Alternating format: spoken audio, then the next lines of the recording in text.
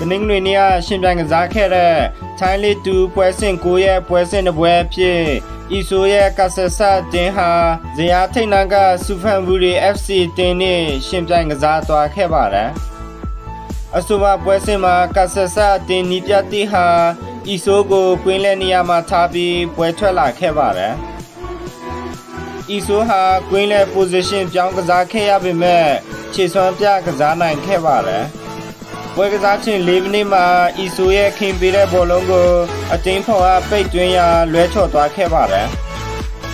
ပွဲကစားခြင်း40မိနစ်မှာလည်းအီဆိုကနောက်ခံလူတူကိုကြော်ဖြတ်ပြီးအတင်းဖော်စီပေးပို့ခဲ့ပေမဲ့အတင်းဖော်ရဲ့အဆုံးတက်ကန်ချက်လွဲချော်သွားခဲ့ပါတယ်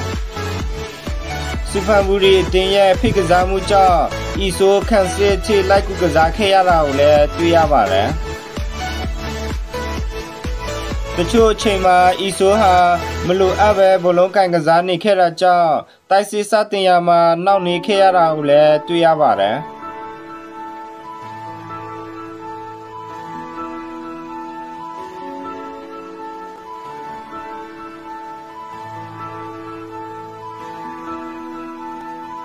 အဆိုပါပွဲစဉ်မှာအီဆိုက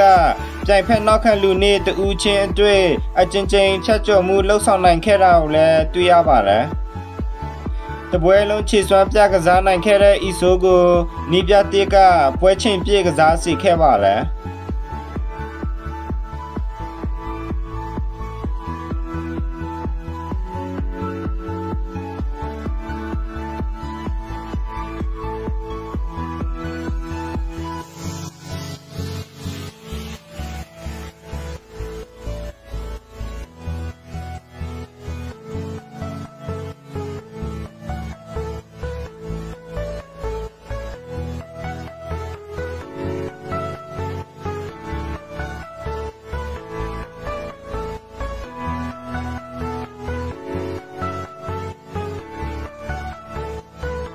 နာကျင်ချင်းပေါ်ရောက်မှအီဆိုရဲ့ဖြတ်တင်ပေးပို့မှုကို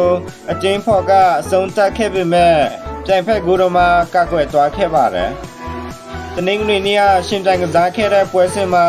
ခြေစွမ်းပြကစားနိုင်ခဲ့တဲ့အီဆိုရဲ့ကစားဟန်တချို့ကိုတင်ဆက်ပေးခြင်းဖြစ်ပါတယ်။ကြည့်ရှုအားပေးတဲ့အတွက်အားလုံးကိုကျေးဇူးတင်ပါတယ်။